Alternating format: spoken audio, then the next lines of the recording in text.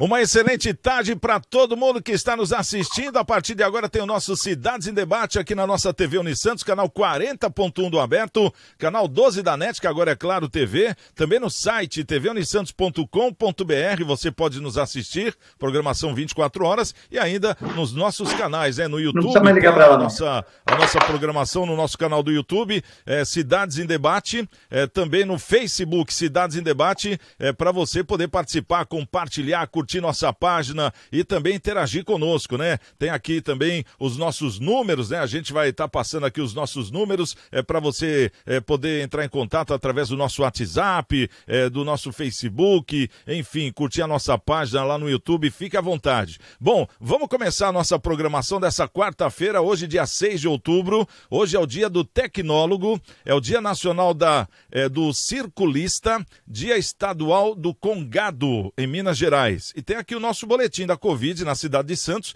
é, trazendo diminuição no número de pessoas internadas na rede de saúde de Santos, é, uma queda de 6%, também reduzindo aí o número de internados nas unidades de terapia intensiva, voltado para os casos mais graves, de 43 para 39, uma queda de quase 10%. É, a taxa geral de ocupação dos 412 leitos de Covid disponíveis está em 19%. Entre os 215 leitos de UTI, a ocupação é de 18%. E na rede SUS, a taxa é de 21% e na rede privada é de 16%. População vacinada, 85%. E pacientes recuperados é na média de 92%. E a gente sempre ressalta também aqui o nosso site, né? Esse site aqui é o santos.sp gov.br barra saúde barra dados coronavírus, onde você tem é, todo, é, todas as informações aí sobre a pandemia na cidade de Santos, né? Todos os dados, enfim, muito legal é você poder ficar por dentro aí é, dessa informação. Vamos trazer aqui os nossos convidados de hoje. Contamos com a nossa bancada aqui com o doutor Maurício Baltazar, o nosso advogado, comentarista. É, doutor Maurício, quarta-feira hoje, meio de semana, muitas notícias para debater. Boa tarde, doutor. Boa tarde, Santiago Pérez. Boa tarde, colegas de bancada. Boa tarde, essa participativa audiência, telespectadores, internautas, enfim. Vamos lá debater os polêmicos assuntos desta tarde, que tenho que falar, viu, Santiago? Vamos lá, uma boa tarde a todos. Tá certo. Conosco também o nosso querido Luiz. Olha ele aí, o Luiz Fernando Cardoso da Ortobiofarma, que praticamente daqui um mês e meio, no máximo dois meses, vai, vai poder contar aí com, com a, essa farmácia de manipulação é, que já existe na cidade de Guarulhos, em São Paulo, faz o maior sucesso há muitas décadas, né? E agora trazendo toda essa tecnologia aqui para nossa cidade de Santos e para a Baixada Santista. Seja bem-vindo, Luiz Fernando. Tudo bem, Luiz? Tudo bem, graças a Deus. Mais uma vez, tendo a honra de participar junto com você, Santiago, e com essa mesa maravilhosa e com esse teu público maravilhoso que cada vez mais cresce assistindo esse programa que só tem a acrescentar. Tá certo. Bom, conosco também é o nosso querido doutor Eduardo Filete, ele que é médico veterinário, né? Um dos mais conceituados aqui da Baixada Santista, mais conhecidos, é muito atuante, né? Ele, o irmão dele, o Celso, e com sua clínica no Canal 5, já algumas décadas também, né, Filete? Boa tarde, seja bem-vindo mais uma vez, Filete, tudo bem? As décadas eu vou deixar para o Luiz Fernando, que ele ficou mais velho agora, tal, então deixa para ele. Um abraço, um abraço, doutor Maurício. Não, é que tu falou décadas, tal. Eu sou mais novo. O, um abraço para o doutor Maurício, um abraço para você, Santiago, um abraço para Luiz Fernando Cardoso, mais uma hora do Biofarma, agora na Baixada Santista, vai ficar mais próximo da gente aqui, né? Parabéns para o Luiz Fernando, obrigado pelo convite, é uma honra estar nessa quarta-feira é, comentando as notícias nesse programa. Bom, o Luiz falou para mim, ó, não vai falar da feijoada hoje, tá bom, não vou falar da feijoada, Luiz.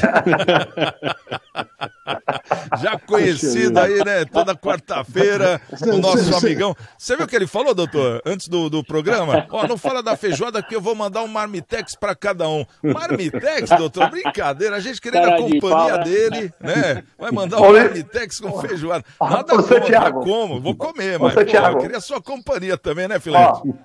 Eu já convidei o Santiago, a esposa, para um jantar tal. Então é tudo bacana, tomamos um vinho e tal. Agora o Luiz Fernando é mais fácil aquela jiboia que eu operei fumar do que Luciano pagar o jantar para alguém. Poxa vida. é, só de raiva eu convidava, só de raiva, viu? Olha, Filete, é legal. eu queria te convidar para comer um hot dog. mesmo Aquele assim, prensadão, né? O prensadão, é assim, é bom. Eu preciso do teu VR para pagar. Ele quer me levar lá no Mac Rampa. Ele quer me levar lá no Mac Rampa, lá no mercado. Vamos lá comer. comer. aquele dogão prensadão lá do Mac Rampa. É bom aquele lá, viu? Opa, tô dentro. Bacana. Bom, vamos começar aqui a nossa. Já vamos trazer aqui uma notícia, né? É, já estamos aí no final do ano, né? A gente está falando do mês de outubro, já começamos outubro, é, praticamente dois meses aí é, para os preparativos do Natal e o mercado é, também, né? O final do ano promete aquecer a economia com oportunidade de contratações temporárias e um levantamento feito pela Confederação Nacional do Comércio de Bens, Serviços e Turismo estima que mais de 25 mil trabalhadores temporários sejam contratados somente no estado de São Paulo. O diretor da Associação Brasileira de Lojistas e Shoppings, né, é Luiz Augusto Idelfonso, acredita que as vagas sejam 36% mais numerosas nesse ano em comparação com 2020. As novas vagas devem ser criadas especialmente nos setores de vestuário, eh, calçados e acessórios. A maior procura é por vendedores e operadores de caixa. Mais de dois terços das vagas serão direcionadas para os shopping centers, né? Doutor Maurício, Será que vai ter essa demanda toda? O povo está com essa bala toda aí na agulha ou não? Penso que sim, Santiago. É, com uma série de boas notícias, né? Além dessa, desse aquecimento, o fato de ter é, aumentado o índice de vacinados, é, o fato de ter é, permitido o público nas, é, nos restaurantes, nas lojas e agora até em estádio de futebol, traz uma, uma sensação é, uma motivação maior para a população e também para os empresários de modo geral. Né? Temos aí o exemplo, o nosso querido Luiz Fernando, que está investindo aqui na cidade e abrindo a sensacional farmácia que ele tem lá no ABC. É, então, ele é só um dos exemplos de vários outros empreendedores que estão é, se aproveitando desse sentimento, dessa vontade de recuperar a nação e a nossa região, consequentemente, é, vai se beneficiar também. É, os lojistas, eu defendo aí um, um, pessoal da sapataria, e realmente estão se preparando, contando com esse aquecimento de final de ano. E depois, carnaval, dias das mães, enfim, se Deus quiser, a nossa economia está voltando ao que era antes, Santiago. Tomara, a gente tá nessa torcida já faz um tempinho. Ô Luiz Fernando, é até bom o doutor Maurício ter falado isso sobre você, né? Que é um empreendedor, você que é a sua farmácia lá em Guarulhos, e agora também trazendo essa força aqui para a Baixada Santista. É, até saber do empresário, né? Em plena pandemia, é, o, o, qual foi o seu pensamento de querer abrir numa época do ano que a gente vê que é meio complicado, tal, a, apesar de que a gente já parece que está saindo dessa pandemia. O que, que passou pela sua cabeça? A hora é agora? Como é que foi? Olha, na verdade foram duas motivações. Essa superação dessa pandemia que eu vejo que está acontecendo, vai acontecer, me fez me motivar a montar aqui. Eu moro em Santos há 59 anos, eu subo e desço todos os dias, faço uma média de 50 entregas na Baixada Santista, indicações de alguns médicos por acreditar no nosso trabalho então, tenho muitos clientes aqui e chegou a hora de a gente ter um local, uma marca, fincar uma bandeira da Horto Biofarma em Santos e aproveitar essa situação de agradecimento a Deus de, dessa superação dessa fase tão difícil que estamos passando. Eu tenho certeza que a gente vai conseguir. É o segundo ponto, a conversa com com o vereador Adriano Piemonte, estudando o município de Macaé, do Rio de Janeiro, através de um trabalho muito sério de prevenção contra a dengue. A gente sabe, ninguém mais do que a gente sabe dos danos da dengue na Baixada Santista, né, chikungunya, e a homeopatia demonstrou em Macaé uma maravilhosa sintonia de não fazer com que as pessoas caem em, em atendimento hospitalar e internação. Então, isso me deu uma motivação que será feito um estudo lá em Macaé e implantar, tentaremos implantar aqui na Baixada Santista esse estudo de uma prevenção e, e do, da dengue através de uma homeopatia. O custo disso é infinitamente muito mais barato do que uma internação. Então, isso me deu muita motivação de vir para abrir as portas em Santos, mesmo porque eu estou já chegando nos 60 e subir e descer todos os dias, para mim também está ficando um pouquinho difícil. E acreditando que a, a cidade de Santos vai dar um boom, é, um crescimento, e eu tenho certeza que a Baixada como um todo vai, vai se autodesenvolver. Foi por isso que me motivou a fazer esse empreendimento.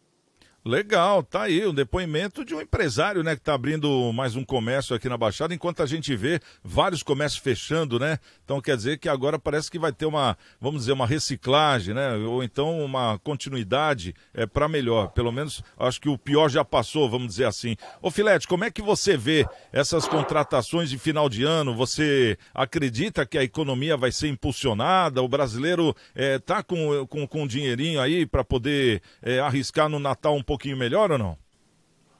Veja bem, não é que o brasileiro está com dinheirinho, é que veio o 13 terceiro, né?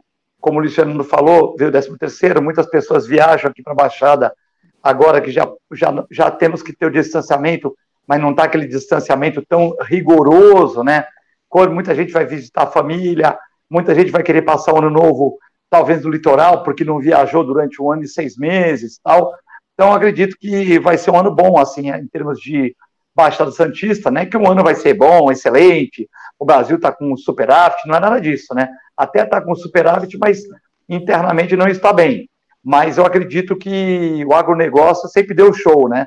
Mas o problema interno, existe muito desemprego e tal, mas eu acredito que o fim do ano sempre vai haver um aquecimento. Com isso, apostando nisso, Luiz Fernando, é, todos nós empresários, empreendedores, estamos tentando melhorar nossa empresa para que a gente tenha um, consiga é, recuperar o fôlego, né? Nesses, nesses é, quase dois anos de pandemia, onde, onde tivemos que fazer muita gestão, tivemos que colocar muita verba, tivemos que é, modificar horários, se reinventar todos os dias, para que a gente tivesse, mantivesse as portas abertas e a geração de empregos aí, não mandando, no, como no nosso caso, da Horta Biofarma, com certeza o doutor Maurício, não mandando nenhum colaborador embora e até contratando mais gente, né? Abrindo mais serviço, abrindo mais áreas, mas com muita dificuldade, né? Com movimento muito inconstante, com é, muitas, principalmente no comércio, né? Principalmente no comércio, medicina é uma atividade de meio, tal, não é, não, não foi tão prejudicado. Agora o comércio, né? O comércio, loja, banho, tosse, isso aí deu um, uma queda e agora uma ligeira recuperação. Ô Luiz Fernando, só para uma, uma questão de dúvida, é, você quando chegou a pandemia, você tem a sua farmácia de manipulação lá em Guarulhos, é, a farmácia ficou atendendo também no DISC, como é que é? Caiu muito o atendimento? É, deu para continuar? Só para a gente ter uma noção. Não, a farmácia continuou trabalhando normalmente, né? Os médicos, alguns pararam de trabalhar na forma presencial e entraram na forma digital, né, atendendo seus pacientes via computador, via biometria, é, digitalmente, e a gente teve, logicamente, teve uma queda substancial, só que é, alguns grandes amigos meus tiveram que fechar seus estabelecimentos e passaram situações que, olha, sinceramente, eu senti muita, muita, muita dó de ver pessoas é, tendo que demitir é, funcionários e transtornar o seu dia a dia por conta de uma situação invisível. Hein, Fernando? Então quer dizer que as farmácias elas foram atingidas, assim, pelo menos a farmácia de manipulação, né? Não, que a é... gente viu que alguns segmentos é, durante a pandemia, que nem, por exemplo, a própria farmácia, é, os supermercados, é, os deliveries, né? Tiveram crescimento até na pandemia. Agora a farmácia de manipulação não, né? É pelo que não, você está falando. Não, não, não, não é que teve muita queda, porém houve queda. Exist, existiu uma queda de faturamento normal, mas o fato de poder manter as portas abertas e não ter que demitir ninguém, para mim, eu sou muito grato a Deus por ter é, passado por isso.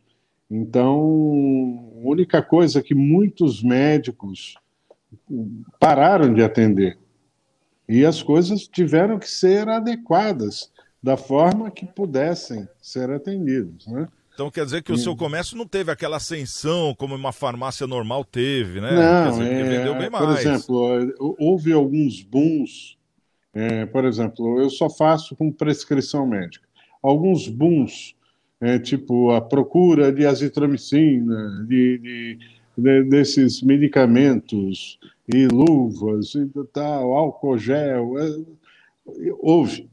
Isso houve. As drogarias, nenhuma delas se queixaram de tudo que aconteceu.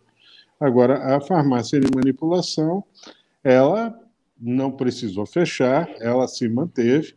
Logicamente, ela não teve crescimento, porque ela depende de médicos, de receituários, que às vezes os médicos, por segurança familiar deles, quiseram se manter privados nas suas casas e, e mudando a forma de atendimento, não mais presencial. E isso parece que não, tudo muda. Tudo muda, né? Agora, com as coisas voltando, está tudo voltando ao normal. E espero que volte ao normal para todos os segmentos. E quando se fala do comércio, se fala do comércio em todos os segmentos. E eu acredito que o coração do ser humano, neste Natal, vai estar ávido de querer abraçar, presentear, saudar, fazer, fazer a ceia. Sabe, eu não tenho dúvida que o comércio eh, de final de ano vai crescer no mínimo de 15% a 20% em relação ao ano passado, que foi péssimo, e uns 5% do ano que não teve essa pandemia. Então vai ter aquele clima natalino que a gente tanto não fala, né? Como dúvida, vários anos não, não, tivemos, né? Tivemos mais não, o presente é, do, que o, do que a presença do menino eu, Jesus, vamos dizer assim, né? Eu acredito que o amor no coração vai prevalecer este ano, porque tivemos a sensação do que não somos nada somos vulneráveis ao invisível. Sabe? Só Deus para nos proteger. Tá certo, Luiz, falou bem. Bom, vamos trazer aqui uma outra informação também para a gente debater. E essa informação aqui, ela é internacional e ela assusta, né? É porque a gente conhece, né, o que é a China hoje, o, a preparação que eles têm em material bélico, enfim, a política deles.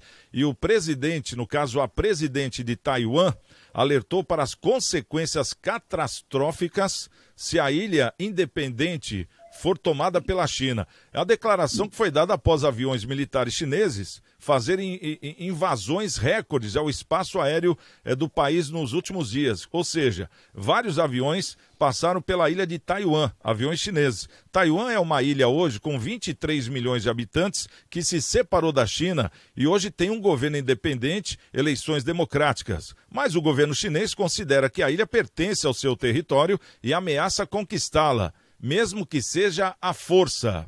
O governo chinês já entrou com cerca de 150 aviões militares no espaço aéreo de Taiwan nos primeiros dias, agora do mês de outubro, nos primeiros quatro ou cinco dias de outubro. Segundo o Ministério da Defesa da, da Tailândia, né, de Taiwan, melhor dizendo, uma demonstração de força que é considerada como um ato de intimidação e agressão por vários países é o que está ocorrendo lá que está acontecendo lá. As incursões é, bateram recorde diário. Por exemplo, no sábado, dia 2, 39 aeronaves. Na segunda, dia 4, 56 aviões, o maior número já registrado, dos quais 36 desses 56 aviões eram caças e 12 bombardeiros H-6 com capacidade nuclear. Os Estados Unidos pediram à China no domingo, dia 3, que interrompesse as atividades militares, que são provocativas. O pedido simplesmente foi ignorado. Doutor Maurício Baltazar, a gente está observando aqui, semana passada, inclusive, é, Coreia do Norte fez lá um exercício, lançou lá um, um, um foguete, né? Um, um míssil é, hipersônico. É um míssil que tem a capacidade de é, correr 20 vezes mais do que a velocidade do som. É, por outro lado, já perto de sexta-feira, a União Soviética também, a Rússia, é, lançou um, um, desses mísseis também, mostrando que tem também essa capacidade desse míssil hipersônico de um submarino em alto mar. E agora a gente vê a China sobrevoando e, e Estados Unidos mandando recado e sendo ignorado. O que está acontecendo, doutor Maurício? O, os ânimos estão exaltados ou é impressão minha? Veja bem, Santiago. Hoje eu conto com 51 anos de idade e se eu não fosse advogado, eu certamente seria um professor de história, gosto muito de história, enfim, é, e geografia, consequentemente, a gente sempre está analisando com um pouquinho mais de critério esses temas.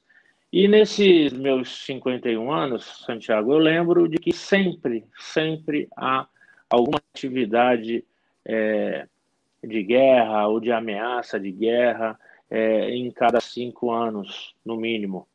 Né? É, a indústria bélica mundial ela é, ela é importante para a economia do mundo, né? E, e, sempre de um lado ou do outro do mundo há uma ameaça ou um conflito em andamento, né? Os últimos a gente lembra do Iraque para cá, agora o Afeganistão, enfim, sempre há algum tipo de guerra ou, né, especificamente, onde as armas são negociadas é, de forma né, contundente, milionária, trilionária, né? Nós agora podemos lembrar o quanto de material bélico foi abandonado pelos Estados Unidos no Afeganistão.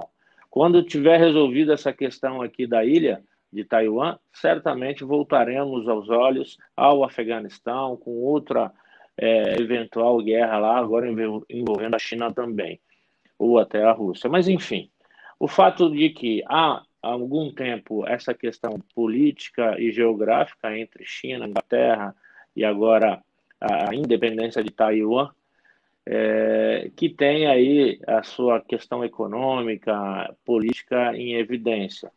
Né? Então, assim, a gente sabe que é, um, é uma questão fervorosa, que pode acontecer qualquer coisa, desde um acordo econômico entre Taiwan mesmo e China, porque China gosta de fazer negócio, né? nem de guerra ela gosta, ela gosta de fazer negócio, ganhar dinheiro, que não estão invadindo aqui o Brasil, comprando, corrompendo, pagando. Lá é, é muito provável que possa sair um, um acordo econômico entre Taiwan e China e, e se evite uma guerra. Mas também pode ter uma guerra, um conflito armado aí, porque não dá para entender nem admitir que Taiwan volte ao regime comunista tendo tudo aquilo, tudo que ela representa para o mundo, né?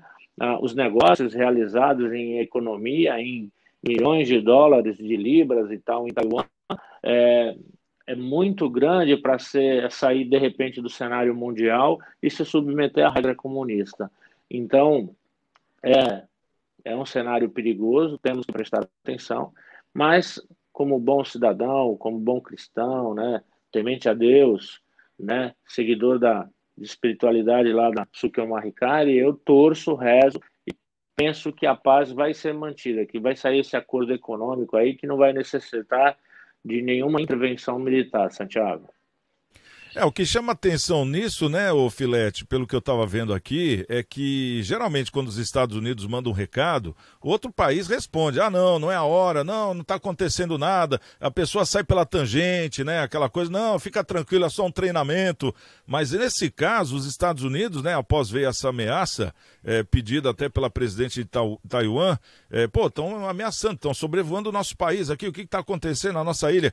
Aí os Estados Unidos entrou para interceder, né, ô, para de fazer isso. Aí a China simplesmente olhou e falou: não, não vou parar. Né? É, é isso que chama atenção. É, como é que estão os ânimos aí, o, o, o Filete? Você acha que pode ocorrer uma guerra? Porque não seria uma coisa boa nesse momento, né?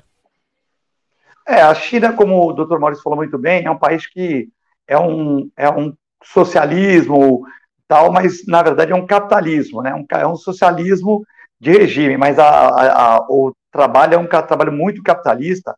A China ganhou muito com a questão do Covid, né? Ainda está ganhando. Eles tinham, né? Parecendo um milagre, acho que a China adivinhou, né? Que ia ter um problema de desabastecimento. Então, seringas, scalps, material, respirador, é tudo chinês, né? Parece que eles estavam tudo preparado. Eles tinham uma, parece que eles tinham uma, uma um aviso divino, né? Divino não, né? Um aviso do, do diabo, né? Que ia ter um coronavírus. Muita gente acredita que foi uma guerra química. Muita gente acredita que foi uma fuga de laboratório, enfim. Mas a China me parece muito preparada, né? Para a produção de muitas coisas rápidas, tinha estoques aí para atender o mundo, né? Então, coisas muito estranhas. E com isso a China ganhou mais dinheiro ainda. Hoje a China está entrando na África, comprando muita coisa na África, comprando muita coisa no Brasil, porque eles têm que alimentar 1 bilhão e 200 milhões de pessoas, né? Para eles é, alimentar essa população toda, eles têm que ter é, áreas cultiváveis, pasto, enfim. E eles estão comprando, como o doutor Maurício falou muito bem, direto e indiretamente, oferecendo o dobro do que vale, oferecendo um e meio que vale, comprando tudo que eles acham que pode ser interessante para o crescimento do país deles. E com esse capitalismo é, exacerbado, disfarçado ou, ou, de uma certa maneira, camuflado com o socialismo na população, onde tem um regime, tem ordem, tal, enfim, é, a China consegue, de uma certa maneira, ter um capital econômico muito grande. E capital econômico gera também capital bélico, gera recursos, né? Um presidente do Brasil falou uma vez que o Brasil só ia ficar independente quando tivesse bomba atômica. Aí todo mundo entendeu errado, bomba atômica, paz e amor, I love you, e babá. Não, mas não era isso. Eu também não sou a favor da bomba atômica, estou dizendo o que ele quis dizer é o seguinte: o país que tem a bomba atômica, ele fala é o seguinte, nós temos que ser respeitados que nós temos a bomba. Tal, e, na verdade, a China tem tudo isso hoje, aliada com a União Soviética, com a Rússia, enfim, né? Ela aliada com a Rússia, elas estão tal. E os Estados Unidos, com esse problema interno que existe, tal, de muita migração, imigração, problema de eleição fraudada ou não, o governo não está um governo muito estável ainda. E a China faz a provocação, né? Logicamente que é, se tivéssemos um governo é, mais, vamos dizer assim, tipo um Trump, que é um pouco mais eloquente, muito mais maluquete, né? A coisa ia ferver. Talvez com esse com, com o Biden a coisa seja mais na diplomacia. Eu espero, como o doutor Maurício, que a coisa se resolva na diplomacia, que Taiwan tenha sua independência, né? E que a China admita o Estado de Taiwan, que é um Estado também importante, né? Eles produzem muita coisa e também é, tem uma tecnologia avançada, deixa eles viverem lá, mas a China, né, é, insiste que eles são ainda uma, uma área deles, é, não engoliu muito, não engoliu muito essa questão dessa independência, e hoje, como a, China está com dinheiro, está com poderio, a China vai, vai cutucar nessa ferida, que para eles essa ferida não cicatrizou. Talvez para o resto do mundo tenha cicatrizado, mas para a China não cicatrizou. E agora que eles estão podendo, com muito dinheiro, com muita hegemonia, com muito poder, eles vão, ah, peraí, vamos recuperar essa área para a gente aqui. Não, não, volta, volta. É assim, né? Então, realmente, existe o perigo de uma guerra, a gente espera, como o doutor Maurício né, falou, que através da, da, do entendimento dos povos, da religião, de Deus, que a gente consiga evitar essa, esse começo de uma guerra que pode ter consequências muito mais graves, porque a China é aliada da União Soviética, da, da Rússia, enfim, e a coisa pode descambar para outro lado, né?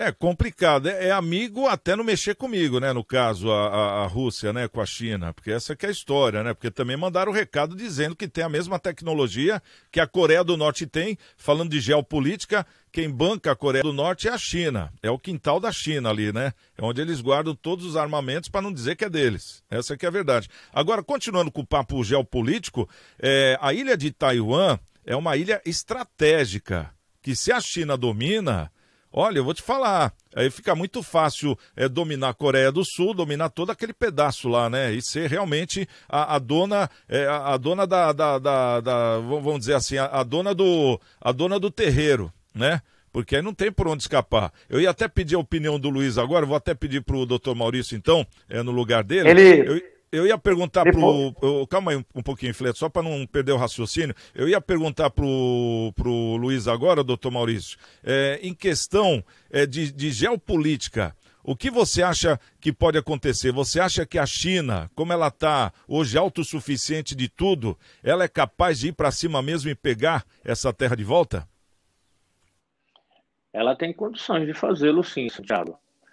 E tem condição econômica, tem condição é, bélica de fazê-lo, mas também tem outros interesses e outras feridas, né? O, o, problema da China também é o Japão. O Japão está preocupado com essa eventual é, é, procedência ou vitória ou até, enfim, um acordo que faça com que a China ingresse no território de Taiwan, que sempre vai ficar mais próximo, vai estar é, estrategicamente melhor numa eventual questão geopolítica, inclusive numa eventual guerra. Então, é, todos os países daquela região, até a Austrália, que está um pouquinho mais distante, todo mundo está preocupado sim, com, esses, com esse jogo de xadrez, né? E, mas repito, eu, eu espero, torço para que isso seja feito com muito cuidado, com muita é, é, muita conversa, diplomacia, enfim, e que se resolvam. Mas é, tem até um, uma questão envolvendo o Japão já se preparando por, para o pior, é, porque historicamente são inimigos capitais e tal. E esperamos que isso não ocorra, que Taiwan consiga chegar num denominador comum, se mantenha como essa referência capitalista lá na Ásia. Ô Luiz, uma coisa que o Filete falou que chamou a atenção é que ele falou, é, porque a China ela estava preparada antes da pandemia, com vacina, com máscara, com tudo, porque é diferente, por exemplo, você atender um país e atender o mundo todo. Eu concordo com ele plenamente. É, você acha que, por exemplo, é, essa teoria da conspiração, porque é uma coisa que eu falo, quando você fala isso é teoria da conspiração, né? Mas o, o engraçado é que passam alguns dias ou alguns meses, essa teoria da conspiração é, 90% se concretiza. Você acha que é o que está acontecendo é isso hoje? A China querendo dominar o mundo mesmo? Olha, se não está querendo, está acontecendo naturalmente, porque eles têm trabalhado para isso. Sabe, só Deus sabe o quanto que eles estão entrando nos países e estão com a força do trabalho deles, com o dinheiro deles, é, comprando o que estão comprando. Por exemplo, eu estou sabendo que o ferro brasileiro aumentou 250% aqui dentro do Brasil, porque tudo foi para lá. Tudo foi para lá. O que restou é muito pouco em função da demanda e o preço foi lá para cima. Então, a, as exportações para a China, principalmente de minerais, está sendo muito alta. Agora, ainda mais o chinês assistindo tudo que está acontecendo no mundo. O Afeganistão, o caso dos talibãs aí, é o maior exemplo que os caras vieram e dominaram tudo. O chinês vai falar, pô, se aqueles caras fizeram o que fizeram, eu faço muito mais fácil. Eu tenho a força, eu tenho a população de um bilhão de pessoas, eu tenho a máquina, eu tenho a bomba, eu tenho tudo, é só eu querer. Agora, existe uma parte do mundo que a China também fica esperta. Estados Unidos é a segunda, é, para mim, é a maior força. Ela sozinha se torna a segunda maior força, porque existem a união, né? Se a Rússia se unir com a China, os Estados Unidos fica em segundo plano. Agora, entre países so, sozinhos, os Estados Unidos está na frente. E esse recado, eu não sei, eu acho que o Biden deve estar tá tomando o medicamento que a Dilma Rousseff toma, fica meio calminho, fala umas bobagens, entendeu? Daí já, já Ei, Luiz, Eu. E mostrou uma grande fraqueza também, essa retirada das tropas americanas do Eu Afeganistão. Um absurdo, é. Se você começar a pensar, né? Poxa, a China olhando a retirada, eles foram tocados de lá pelos talibãs. Essa é, é a verdade, de uma forma totalmente um desorganizada. Gente caindo de roda de avião. Quer dizer, você viu que não tinha organização nenhuma, perto do que, é, do que eles passavam, a imagem que era passada nesses últimos 20 anos. Era para estar tá tudo sob controle. E a gente Sim, viu que não. Será que não foi isso que chamou a atenção também é, dos chineses no caso aí, ô Filete? É, pode ser. Na verdade, essa desocupação do Afeganistão já foi é, programada desde o governo Trump, né? Não é uma ação do Biden. O jeito que foi feito que foi um jeito ruim, né? Ou seja, existe o, os Estados Unidos ficou muitos anos no Afeganistão, né? Quase 20 anos.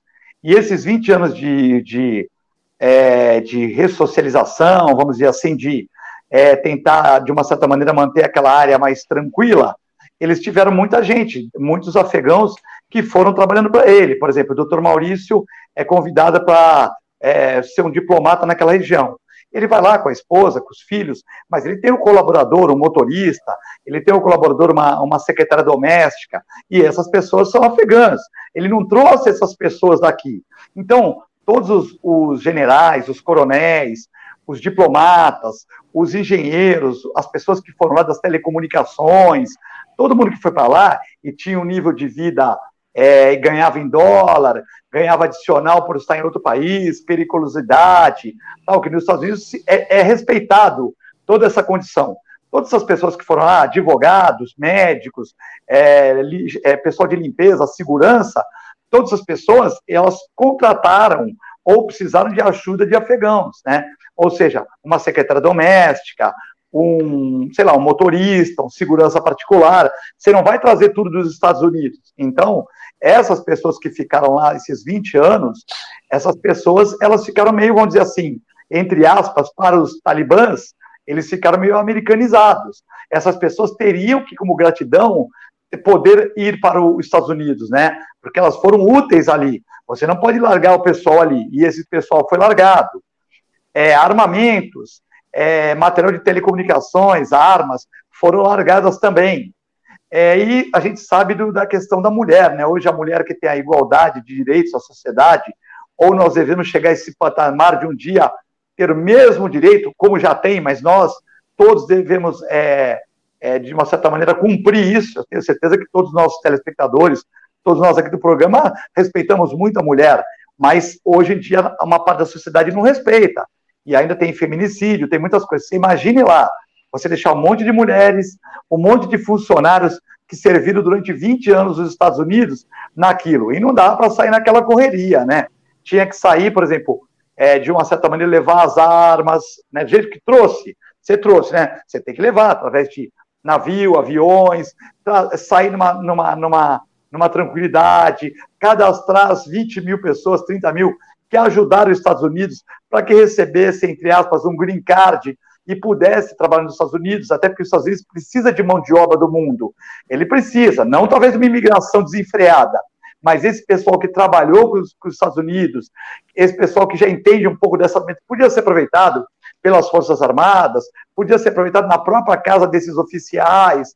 Tal. Então, assim, são gente de confiança, gente que trabalhou e ficou lá. Quer dizer, como é que o Talibã, o, o pessoal Talibã vai encarar uma, uma funcionária que ficou 20 anos trabalhando para um americano? Como é que eles vão encarar aquele senhor que foi motorista de um general do Estado-Maior do Exército americano? Quer dizer, e foi uma super sacanagem. Então, na verdade, essa retirada já está planejada há muito tempo.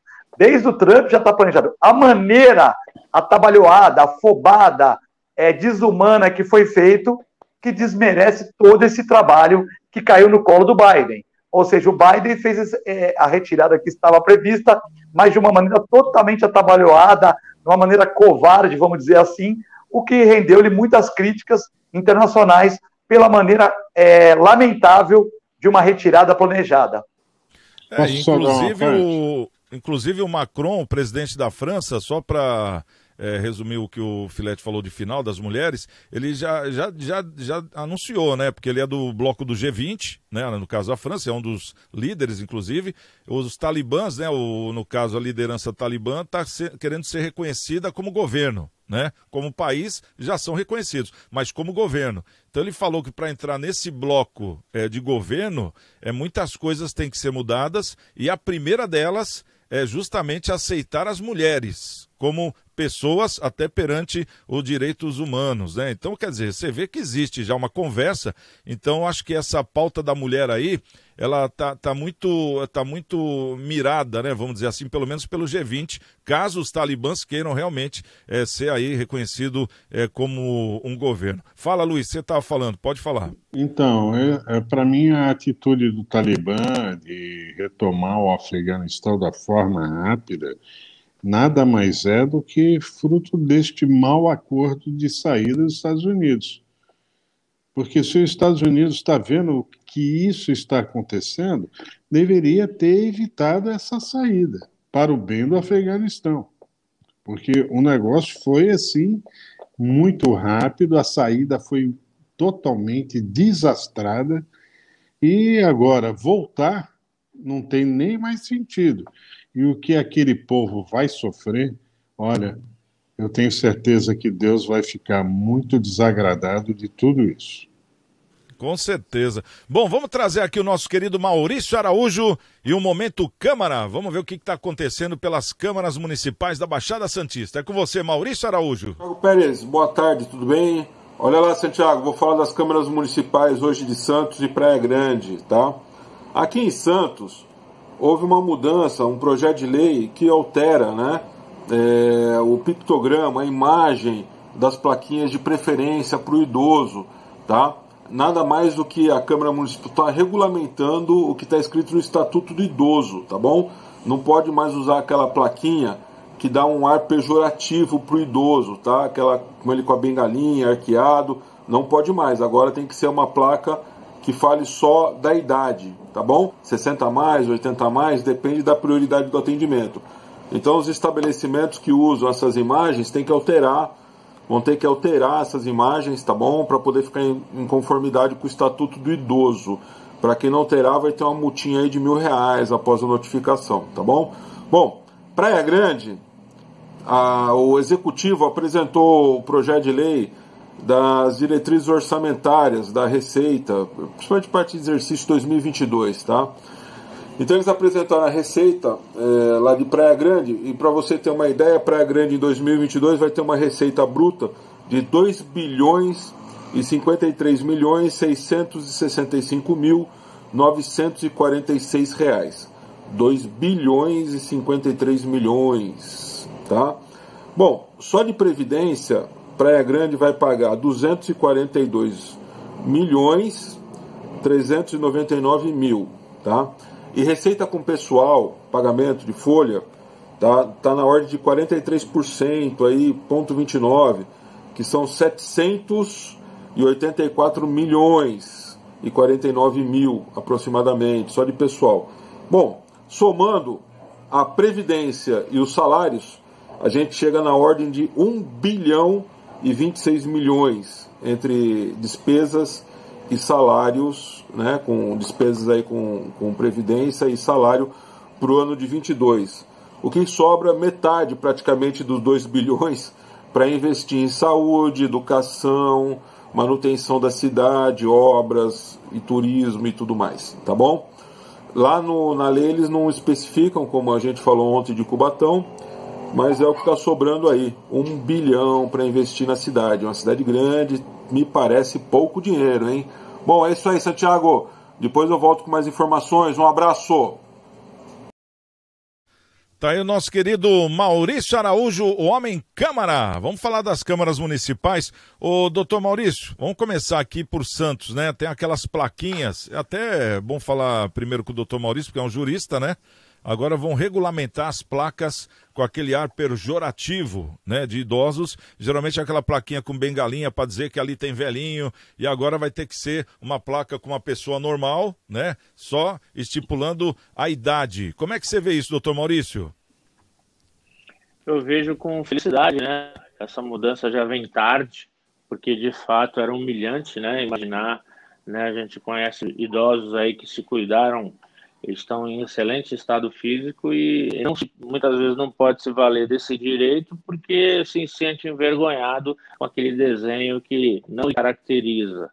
Mas de qualquer maneira é uma boa providência, tem que fiscalizar porque muita gente não vai se ater para isso que veja bem, se se já não se preocupam com o direito em si, com o idoso em si, vão se preocupar com essa, é, essa identificação? Só com fiscalização, viu, Santiago? Eu imagino que é, a conscientização virá, não só daqueles que são responsáveis pela manutenção desses assentos é, específicos para idosos, como também a, a comunidade de modo geral, respeitando o idoso, não só no momento de sentar, mas na hora do trânsito, né, de pedestres, no metrô, nos ônibus, dando a preferência como a boa educação recomenda. É, mulher grávida também, né? Ô, doutor, agora o, que chama atenção é que é uma lei que já existe no Estatuto do Idoso, já há um bom Sim. tempo. E só agora é que foi reparada. É, quer dizer, isso aí pelo menos a cidade de Santos reparou. Agora, quantas outras cidades não repararam ainda? Pois é, pergunta, Santiago. Né? É, é, é, aquela questão, quando a gente. Sempre, sempre, que eu tenho oportunidade, eu falo aqui no seu programa, que a comunidade tem que participar, né? Que a sua audiência, o povo, o município tem que ter uma participação. E, e a fiscalização é o melhor, é a melhor materialização dessa participação. Na medida que você reclama que não está sendo respeitado, que você reclama que a lei fala que não pode ter uma figura pejorativa, é, que você reclama que não estão respeitando o direito do idoso e tal, vem a fiscalização do município que aplica multa, e aí essa, esse ciclo vicioso acaba mudando a sociedade como um todo. Me parece que é isso que está faltando para a grávida, para o idoso, para a questão de finanças, né? É, gastar melhor e com qualidade. É, falta a participação popular ordeira, de acordo com a regra, fiscalizando, ouvidoria. Nós estamos aí testemunhando que a ouvidoria de Santos está fazendo um trabalho diferenciado, né? Então, assim, temos que fazer reclamações, né? Temos que fiscalizar e participar para ter uma comunidade melhor, né? Se autoanalisar, poxa, eu não dei a preferência para aquela mulher grávida, então aquele senhor idoso está lá todo bonitão, mas ainda assim é um idoso, está em pé, vou dar o lugar para ele. Né? Essa mudança que a população precisa. Cobrar, se auto-refletir se está cumprindo e é, corrigir-se e corrigir aquele que não está fazendo, chamando atenção. Eu me lembro que já fui chamado a atenção. Certa feita eu me deixei valer, esqueci, cansado, voltando da faculdade. Falei, pô, meu jovem, né, ceda seu lugar. E eu cedi, envergonhado, mas cedi. Então, assim, e me corrigir, nunca mais permitir que isso acontecesse comigo. Então, assim, eu imagino que nós devemos nos corrigir, corrigir o próximo e fazer da nossa sociedade um lugar melhor para todos. É, até porque a gente espera um dia ficar velho também, né? Essa é a grande verdade, né? Quer ser bem tratado. eu tô chegando lá. Eu tô chegando tá lá. Vendo? Ainda vê, vê, na hora certa a plaquinha, né, doutor, pra gente, hein? Bom, deixa eu trazer aqui, ô, ô Luiz e, e Filete, Praia Grande, é, trazendo as diretrizes orçamentárias, receita de mais de 2 bi, 2 bi 53 milhões, uma boa grana, né, para poder administrar uma cidade, mas chega numa situação que só de previdência e salários dá metade da folha. Então vai sobrar o quê? Um bi para ficar o ano todo para fazer tudo na cidade, ou seja, saúde, eh, saneamento, reforma. Esse dinheiro vai dar ou não, na sua opinião, Luiz? Se fosse administrativamente falando, esse dinheiro estaria sendo mal empregado, porque uma empresa não pode pagar mais do que de 18 a 20% em mão de obra daquilo que se produz. Então, numa empresa, a empresa que tem 20% de seus ganhos, gastos em funcionários, é o seu limite para se manter aberto tá? Por, senão o negócio não dá. Como, como se trata de dinheiro público, você, eu, na minha visão, acho que tem muita coisa errada, tem muita gente ou ganhando muito, ou muita gente não trabalhando, ou, sabe, a gestão está errada. O que sobrou não dá para fazer aquilo tudo que a sociedade precisa, na minha concepção. É, então é aquele negócio, né, Luiz? Está é, tá faltando uma reforma tributária aí na cidade de Praia Grande. Uma reforma moral, tá, administrativa, onde que possa se adequar à realidade arrecadada para os retornos que realmente a cidade tenha que fazer. Se você for realmente fazer com que a cidade vire um conceito profissional empresarial, estaria pensando como, como eu, ou como qualquer outro profissional da área. Então, quando você arrecada e 50% vai para trabalho em cargos, para eh, você vê que não vai dar o restante para honrar saúde, segurança, pavimentação, o todo o outro que precisa de uma sociedade. Então, na minha visão empre... profissional empresarial, o caminho está totalmente deturpado há anos. Há anos. É, e é uma coisa que a gente está falando da cidade da Praia Grande, mas existem outros municípios também é, que tem que já ver como é que estão as contas, né? Que a gente falou ontem de Cubatão, é, porque agora eles estão começando a fazer já essa planilha. Ô, ô Filete, é, você que é um médico, você trabalha também na área da saúde, é, um bi para fazer é, a cidade é, andar e ainda colocar dinheiro na saúde, que a gente vê é, que a saúde também já vai meio que man, é, mancando ali, né? Tá, tá precisando de uma bengalinha. Como é que você vê daqui para frente a situação, por exemplo, da cidade da Praia Grande, com esse orçamento aí de mais da metade da folha só com pagamentos e contas? Bom, o Luiz já falou muito sobre gestão, né? Então, se eu falar de novo, vai ser é, dos 20%, que é o básico e tal. A gente sabe que tem muito cargo, muita gente ganhando muito e muito cargo comissionado. Para você ter uma ideia, a Prefeitura de Nova York tem um funcionário para cada 200 habitantes. Aqui na Baixada tem cidades que tem um funcionário para cada 38. Eu vou repetir. Em Nova York, nos Estados Unidos, tem um funcionário público e nada contra o funcionário público, tem uns que são maravilhosos e atendem a gente muito bem e fazem a máquina rodar realmente. É, outro dia eu tive um problema na prefeitura com o IPTU, que veio errado, fui lá e fui muito bem atendido, resolveram a questão. Então, assim, a gente também tem muitos funcionários públicos bons, mas é o que o Luiz Fernando falou: gastando 50% com funcionários, qualquer empresa particular fecharia. Mas uma outra coisa que eu vou chamar atenção agora na parte política, né? Sem, que entrar na, sem que, querer entrar na seara do nosso amigo que cobre as câmaras, a gente sabe como é que funciona, né? O governo Mourão, tem que fechar o áudio de alguém aí.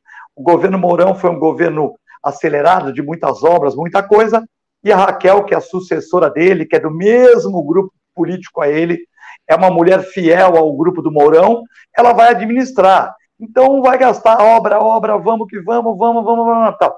O outro chega lá para parar a bola, olha o meio-campo, fa, fa, faça para o pessoal, vamos acalmar um pouco, tal. Então, um, um é um empreendedor, vai fazer, vai fazer, fazer. E o outro, ele reelege, ele elege, desculpa, ele se reelege, elege para falar, olha, agora tu não pega no meu, no meu, no meu, no meu pé, vamos lá, é, trata dos meus calinhos aí, vamos fazer a cidade rodar, fica quatro anos administrando a coisa, tal, vamos tentar algum dinheiro federal, algum dinheiro estadual, vamos administrar a coisa, porque daqui a quatro anos eu voto. Então é assim, isso é normal. Em grupos políticos, o Luiz está coberto de razão. Eu estou falando que é o que realmente ocorre. Um faz o negócio pá, pá, pá, pá, pá.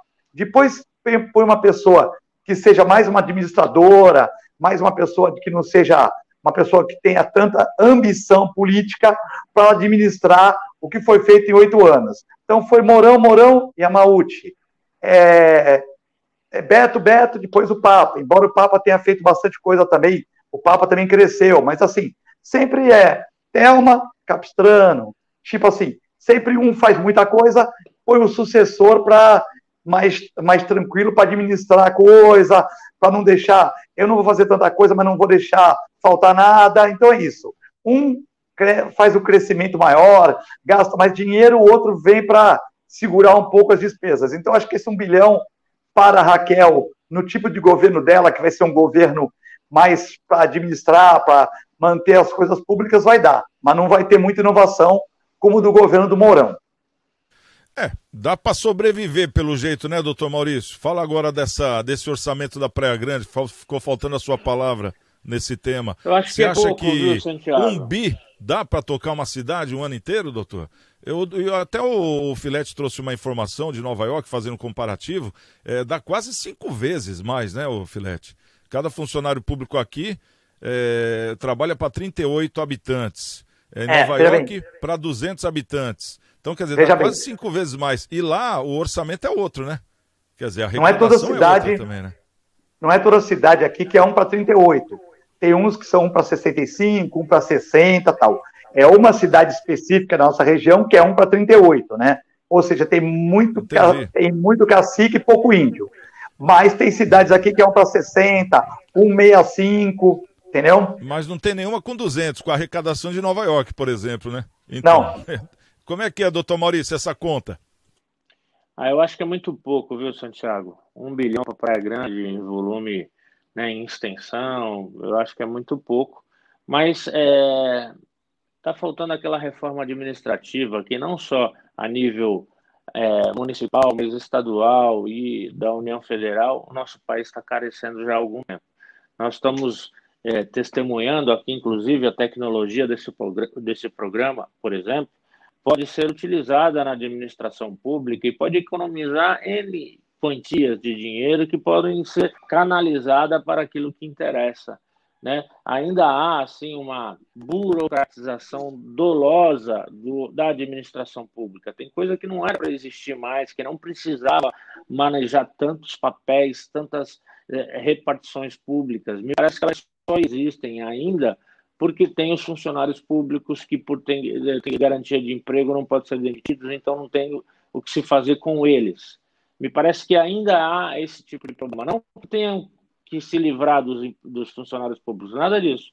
Mas com uma reforma administrativa bem estruturada, bem pensada, essa, essa mão de obra importante podia ser canalizada de tal modo que essa repartição aí é, numerária fosse diferente, pudesse ser melhor empregada além da questão do desperdício. A tecnologia está aí para nos mostrar que existem outras soluções muito mais econômicas, muito mais viáveis do que a, a burocratização dolosa para manutenção de emprego, de emprego comissionado né? e de, de, tudo isso que a gente está acostumado a ver.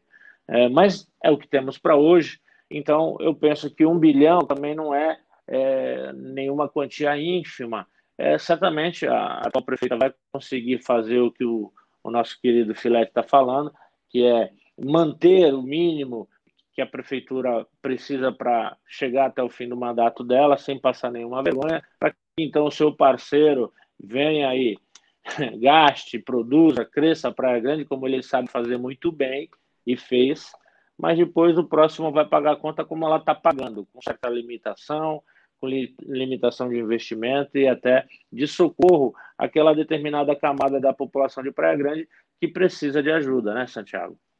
Tá certo. Bom, deixa eu trazer aqui essa informação para você que está nos assistindo rapidamente. Aquela campanha da Igreja Coração de Maria de arrecadação de alimento, mais do que nunca o pessoal está precisando. Se você tem um quilo de alimento, uma cesta básica, uma roupa usada em bom estado, sapato, é, gênero de primeira necessidade, material de limpeza, o pessoal está aceitando essa doação lá na Igreja Coração de Maria através dessa campanha. Ana Costa 74, um quilo de alimento já ajuda muito. Só passar lá durante a semana em horário comercial, ou então, se você não puder sair de casa, tem esse telefone, tem equipe lá é, que vai buscar também o pessoal da paroquial, lá da Bebeca, que eles vão buscar até na sua casa, na hora marcada e no dia marcado, através do telefone 3223 73 81 e nós agradecemos de coração todo mundo que está ajudando e a você é que vai ajudar também com certeza, tá certo? Quero agradecer aqui a presença do doutor Maurício Baltazar, advogado e comentarista, obrigado pela presença, doutor. Também o nosso querido Eduardo Filete, alô Filete, um abração para você também. Pode Ô, falar. Maurício, doutor Maurício, ele só perguntou da placa dos velhinhos para você, hein? Eu, Luiz Fernando, ele tirou dessa, dessa questão, hein? Isso eu reparei. Eu, isso, eu, eu, eu recebi o recado. Isso é bullying. Isso, isso é, o, isso é o tá cabelo branco, não, hein? Filete. Eu e o Luiz Fernando Luiz, somos jovens, hein? Bri- Obrigado pela presença, Luizão. Um abração pra você e sucesso na Ortobiofarma aí, que tá chegando também na nossa Baixada Santista. E principalmente a você que está nos assistindo, obrigado pelo carinho, pela audiência. E amanhã, uma da tarde, tem mais um Cidades em Debate aqui na TV Unisantos. Estamos com Deus, um abraço. E amanhã, quem chegar primeiro, espera o outro. Até lá.